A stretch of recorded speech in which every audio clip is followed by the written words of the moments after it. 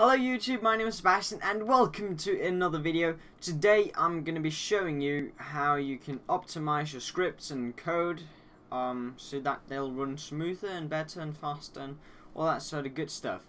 So this is something that I reckon you, you might have done a project or something and have a lot of code and it might start to slow a bit down so you want to optimize it and uh, this is going to be quite kind of a tutorial on how you can do this um, and go about the, the the way you can go about optimizing your code so what I have here this right here to the left this is my tile meeting script from the tutorial I made on tile collisions and on the right here I have the same script does the same thing but I have optimized it so that it uses a lot less resources um, when you're using it. And uh, the way I've gone about this, optimizing the script, of course, there's a lot of stuff you can do, but optimizing in general is just getting rid of stuff that's useless.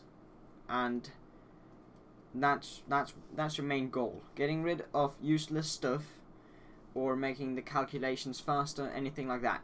So first of all, if we look at this script right here,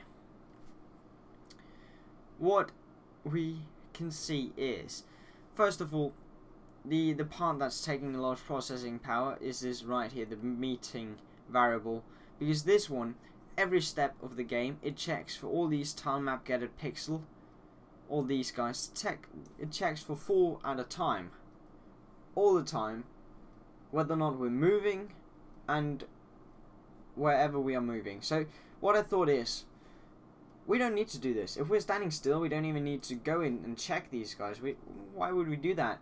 That's a waste of time, because we aren't going to collide with anything if we are standing still. Next of all, if we're moving to the right, we don't need to check at the points at our left, because we aren't going to move into anything like that.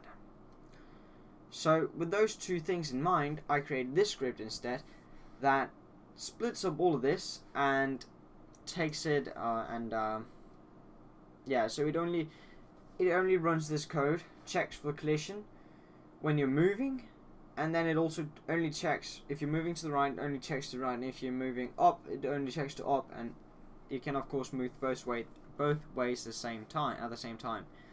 So I'm going to go through this.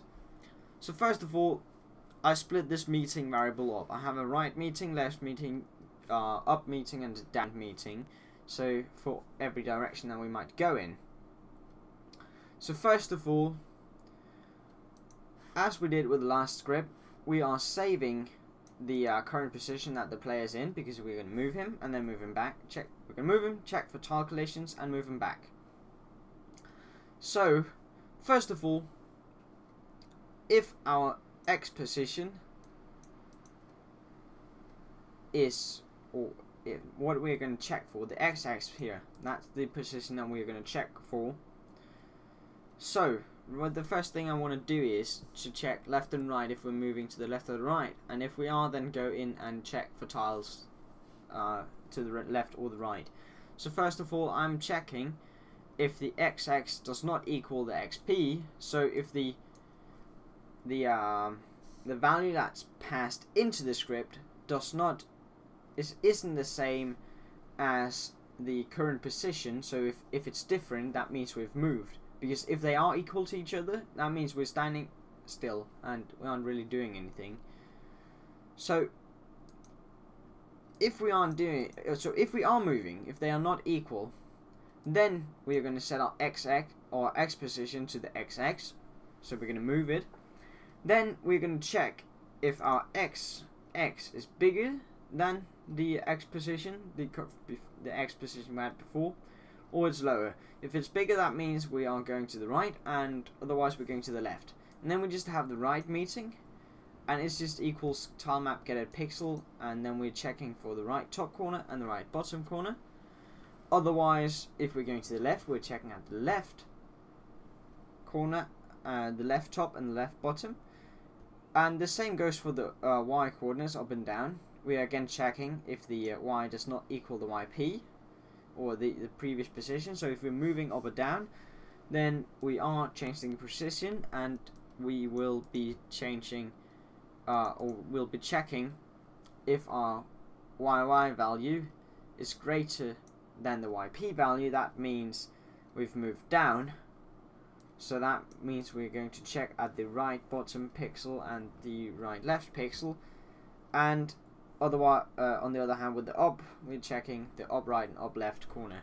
So that's basically how it works and I can prove to you that this is running a lot faster. It's actually double if double as efficient and as this one and you can do that yourself if you want to check this. So the way I've set it up to make this work if we go to the workspace right here this is the object as checking for collisions if we go to the end step what I've done is this is my usual collision checking and this is using the first script the tile meeting the unoptimized and then this one right here that's exactly the same code but that's just for the tile meeting too the optimized script. So we're running both the same amount of times at the same time so that that way we can look at both of them directly side by side.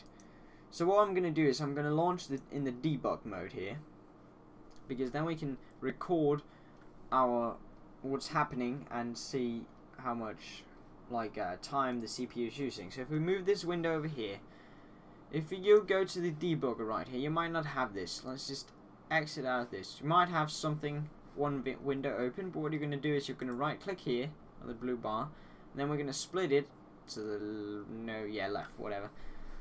So split it to the left or up or down, whatever. Just you get another window, and this window you want to set the type to profile. Then you can hit this button here, that'll record some steps of the game, and then tell you, then you can see how much processing time is used um, in all of the different object events and stuff like that. So we're going to start re recording here, and then we're just going to move around. So right now we are moving around, so we'll be checking, we'll be recording while moving, which means that's where both of the scripts will be using the most processing power. So we we have recorded for like 8,000, almost a thousand steps here. So let's stop it.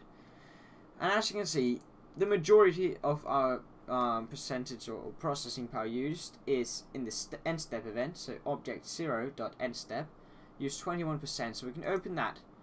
And then right here, what we can see is we can see the tile meeting that uses 11% of this, whereas the tile meeting 2, the optimized, only uses 4%. So it's actually less than the it, it's over double as efficient.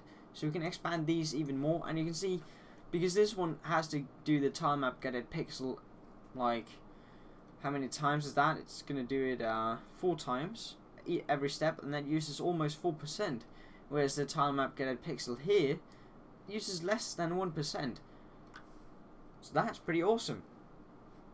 And that is really, really good. So we optimized it very well, and we can might actually be able to optimize it even further, because what we're doing right here is we're checking for the B-box right a lot of times, and the B-box top and left. We're using those variables again, and every time we use them, this script has to look up in the code and find B-box right, find out what it is. So here, when we call it the first time, it's going to look at the sprite, find out what's our bounding box to the right, then it's going to go on, then it's going to come here and it's going to look it up again. It's not going to save it, it's just going to look it up again. And that takes some time. So what we can do instead, that would be to make some variables just in the start that contain all of these. So we could do a variable BR for bbox right, and that will be bbox right. And we actually have a problem with this. Okay, no. We don't. Let's, uh, I, I thought we had a problem because what I just thought is, if we define them up here and then later move here, they won't be in the right space. But, yeah, that won't work. Never mind. We cannot optimize that in a smart way, an efficient way, I think. Not the, with the way that it's set up. But if you had this over here, instead of using B-Box right here, two times, you might as well just do a variable and have two of those, bbox right. So make a variable that will a local variable that we can store bbox right in because then it will it'll be fa it's faster to look up local variables than it is to use bbox right every time and left and top and bottom. But that's actually the um, main part of this. So that's pretty much it for optimizing your scripts. And as you can see, it works splendidly. Like we really got some performance out of that. Like double the performance from just changing up the code a little bit. Like it is a bit more complicated maybe. And I had to do some trial and error while uh, working my way through this. But it really worked out well in the end I think. And the performance is really noticeable. Not right now because I'm running with like 4000 or 5000 frames anyways. But in the statistics it's noticeable so I really hope you could use this video if you have any questions feel free to hit me up I'll gladly answer all of them and yeah, I hope you really enjoyed this, and I hope you learned something useful from it that you can use later on in your game developing career. So yeah, have a nice day. Goodbye.